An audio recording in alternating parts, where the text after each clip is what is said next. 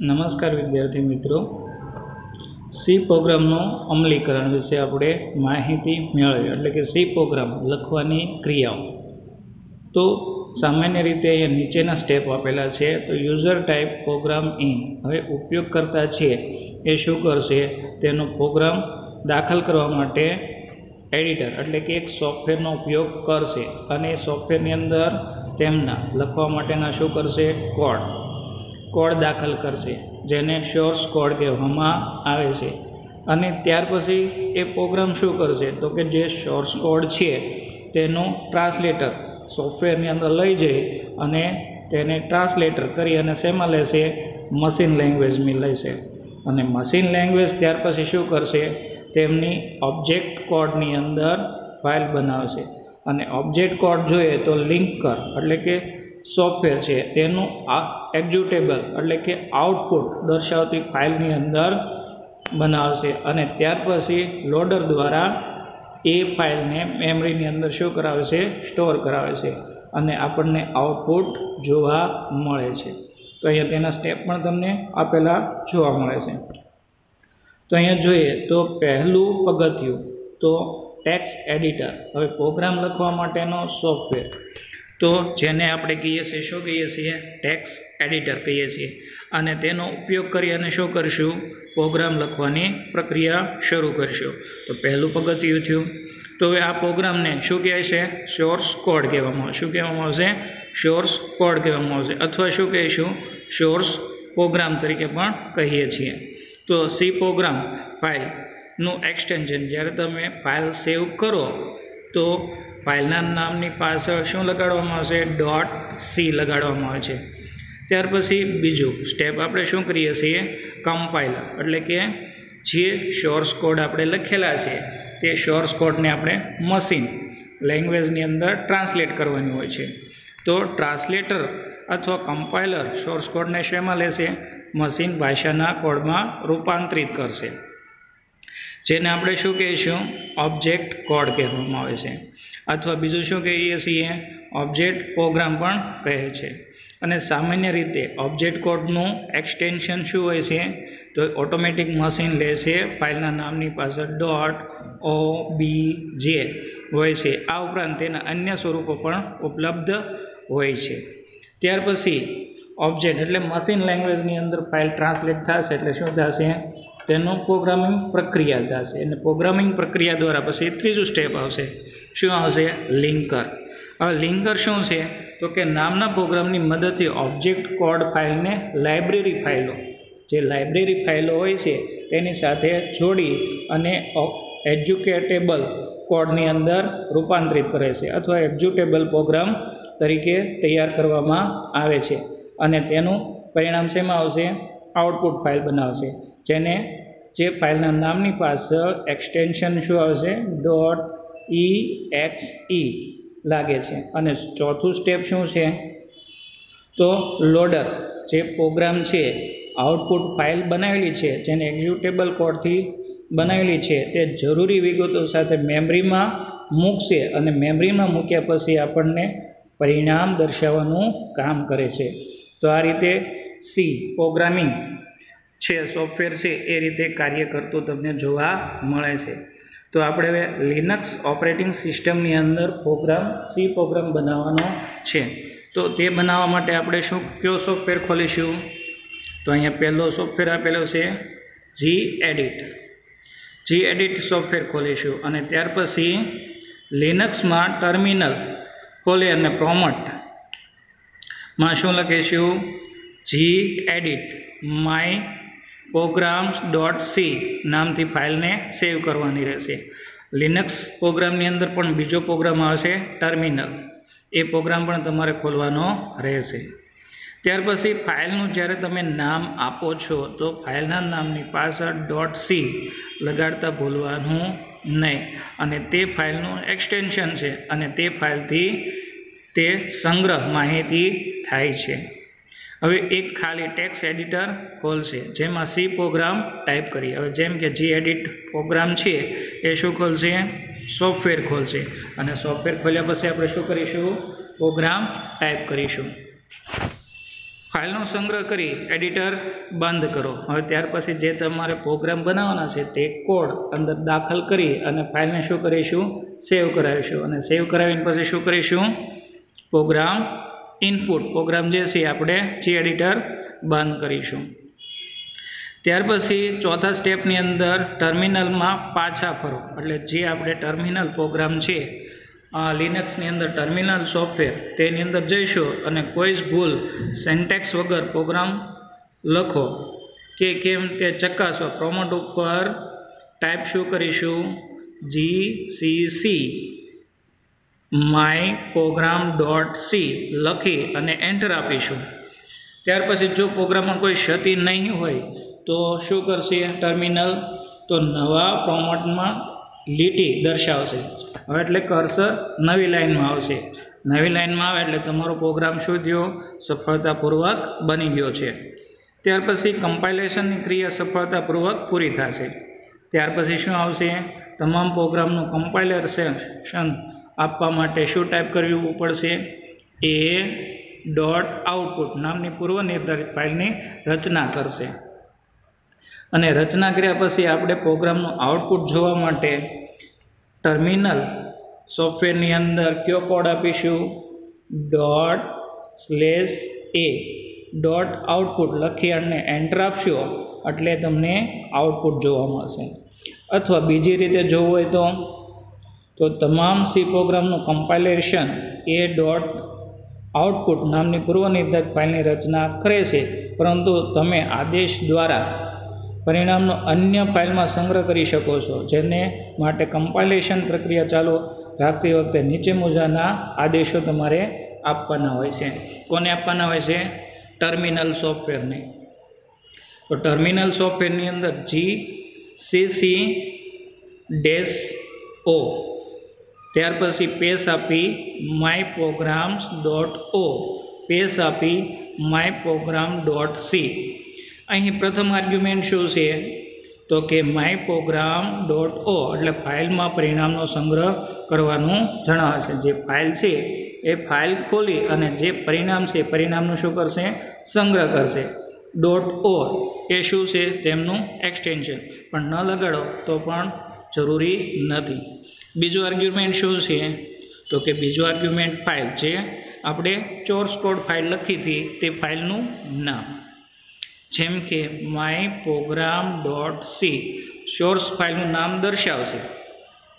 ત્યાર પછી છઠ્ઠું આવશે, જો પ્રોગ્રામમાં કોઈ ક્ષતિ નહીં હોય, તો નવા પ્રોમોટની લીટી દર્શાવશે. જો પ્રોગ્રામમાં કોઈ ભૂલ નહીં હોય, કોઈ ખામી નહીં હોય તો ટર્મિનલ પ્રોગ્રામ, આઉટપુટ પ્રોગ્રામ જેને કહીએ છીએ તે નવી લીટીની અંદર લઈ જાય છે. સમજાય છે ને બાળ મિત્રો? સામાન્ય રીતે આપણે એસટીએમએલની અંદર જુઓ તો ઇનપુટ માટે કયો પ્રોગ્રામ લીધો હતો? નોટપેડ એવી જ રીતે અહીંયા ઇનપુટ માટે કયો પ્રોગ્રામ લીધો? જી એડિટર અને એસટીએમએલની અંદર આઉટપુટ જોવા માટે શેનો ઉપયોગ કરતા હતા? તો મોઝેલા ફાઇવ્સ પ્રો અથવા ગૂગલ ક્રોમ અથવા ઇન્ટરનેટ એક્સપ્લોરર તો સી પ્રોગ્રામની અંદર આઉટપુટ જોવા માટે લિનક્સની અંદર ટર્મિનલ નામનો સોફ્ટવેર આવે છે. તેની અંદર કોડ કમાન્ડ લખવાના હોય છે. તેની અંદર પ્રોગ્રામનું પરિણામ તમને દર્શાવશે. તો કઈ રીતે? તો ટાઈપ આપીશું dot slash my program dot O લખી અને એન્ટર આપશો. એટલે જે આપણે પ્રોગ્રામ બનાવ્યો તેનું આઉટપુટ જોવા મળશે. સાતમું છે, જો સોર્સ કોડમાં કોઈ ભૂલ હશે તો પરિણામનો સંગ્રહ ન થતાં ભૂલ દર્શાવવામાં આવશે. જો તમે ઇનપુટ ફાઇલમાં કોઈ ભૂલ કરી હશે અથવા કોઈ કોડ અથવા કોઈ સિન્ટેક્સ વાક્યમાં તમે ભૂલ કરી હશે તો તે ભૂલ દર્શાવે છે. અને આ ભૂલ સુધારવા માટે પાછું ફરીથી જી એડિટર. સોફ્ટવેર છે. તેની અંદરથી માય પ્રોગ્રામ્સ ડોટ સી નામની જે ફાઇલ બનાવી હતી, એ ફાઇલની અંદર તમારે શું કરવાના રહેશે? સુધારા કરવાના રહેશે. અને સુધારા કરીને પાછા સેવ કરી અને ટર્મિનલ સોફ્ટવેરની અંદર પાછી તમારે આઉટપુટ ફાઇલ ખોલવાની રહેશે. હવે નોંધ અહીં આપેલી છે. અહીં જી સી સી એ શું છે? કમ્પાઇલરનો ઉપયોગ કરે છે. અને ત્યાર પછી બીજું મેન જીસીસી આદેશ લખવાથી જીસીસી કમાન્ડ વિશેની વિસ્તૃત મદદ તમને મળશે. હવે બીજું છે જી એડિટર પછી લિનક્સની અંદર બીજો સોફ્ટવેર વિશે આપણે વાત કરી હતી. તો SciTE SciTE software પણ છે, જેની અંદરથી પણ તમે સી પ્રોગ્રામિંગ પ્રોગ્રામ તમે બનાવી શકો છો. તો કોમ્પ્યુટરની અંદર ખોલવા માટે તેમનું આઇકન આપેલું હોય છે, તેની પર ડબલ ક્લિક કરો અથવા સ્ટાર્ટ મેનુમાંથી તમે ખોલી અથવા એપ્લિકેશન મેનુમાંથી તમે ખોલી અને સ્કાયટી સોફ્ટવેર તમે ખોલી અને સી પ્રોગ્રામ લખશો. હવે અહીંયા જુઓ, તો સી પ્રોગ્રામ લખતા પહેલાં લેંગ્વેજ સી અથવા સી પ્લસ પ્લસ મેનુ તથા વિકલ્પને પસંદ કરવું પડશે. ત્યાર પછી તમે આગળ જોઈએ તો સી પ્રોગ્રામ તમારે શું કરવો પડશે? ટાઈપ જે આપણે સોર્સ કોડ માહિતી છે, એ માહિતી આપણે અંદર ઇનપુટ કરાવવી પડશે. ઇનપુટ કર્યા પછી શું કરશું મિત્રો? તો ફાઇલને આપણે સેવ કરીશું. તો સેવ કરવા માટે ક્યાં જઈશું? ફાઇલ મેનુમાં સેવ વિકલ્પ પર ક્લિક કરશું અથવા શોર્ટકટ કી કઈ છે કંટ્રોલ પ્લસ એસ કે દબાવશો. એટલે સેવ એઝ નામનું ડાયલોગ્સ બોક્સ આવશે. એ ડાયલોગ્સ બોક્સની અંદર યોગ્ય જગ્યાએ ફોલ્ડર પસંદ કરી અને ફાઇલનું નામ શું આપીશું? My program dot C C લખવું ફરજિયાત છે.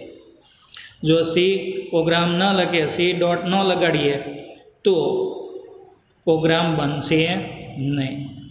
ત્યાર પછી ફાઇલ સેવ કર્યા પછી શું કરવાનું છે? તો કે કોઈ પ્રોગ્રામમાં ભૂલ છે? કે નથી એ ચકાસવા માટે ક્યાં જઈશું?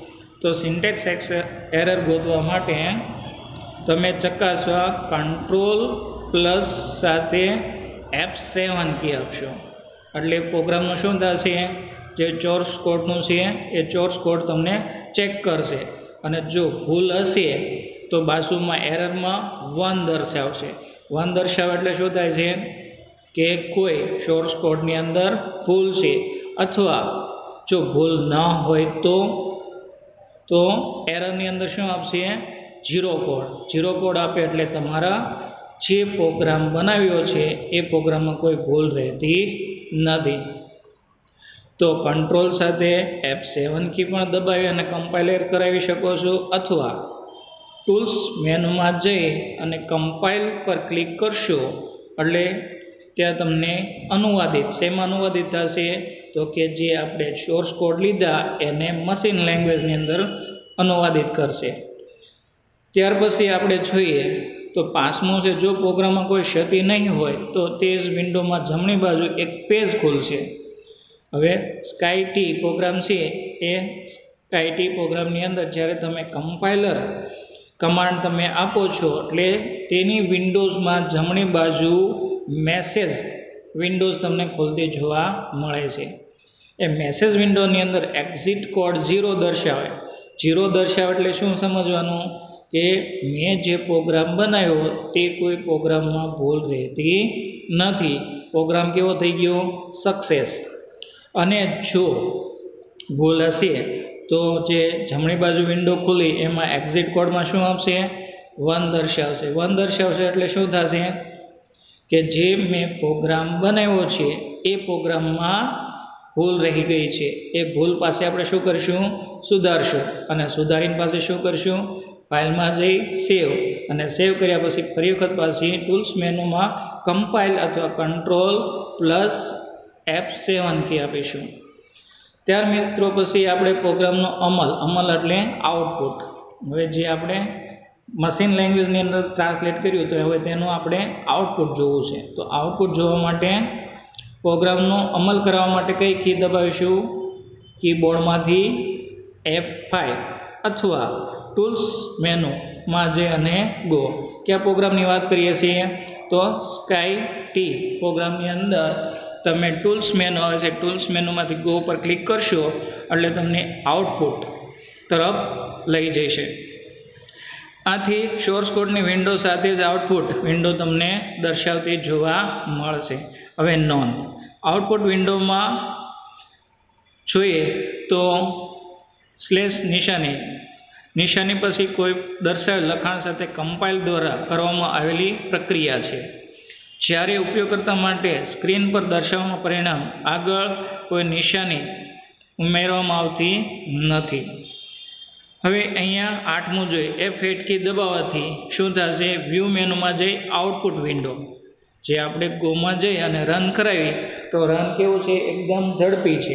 એટલે તરત જ આપણે જોઈ શકતા નથી. તો આઉટપુટ વિન્ડો ખોલવા માટેની ક્રિયા છે. તો આઉટપુટ ખોલવા માટેની વિન્ડો છે. ખોલવા માટેની શોર્ટકટ એફ એટ કી દબાવશે એટલે આઉટપુટ વિન્ડો ખોલશે. કયા પ્રોગ્રામની? સ્કાયટી પ્રોગ્રામની. અથવા ન જોવા મળે તો ક્યાં તમારે જવાનું? વ્યૂ મેનુ ખોલવાનું. વ્યૂ મેનુમાં જઈ આઉટપુટ પર ક્લિક કરવાથી આઉટપુટ વિન્ડો દૃશ્યમાન થાય છે અને તેની અંદર તમે પરિણામ જોઈ શકો છો. ત્યાર પછી તેમાં અગાઉના પરિણામ તમારે દૂર કરવા હોય.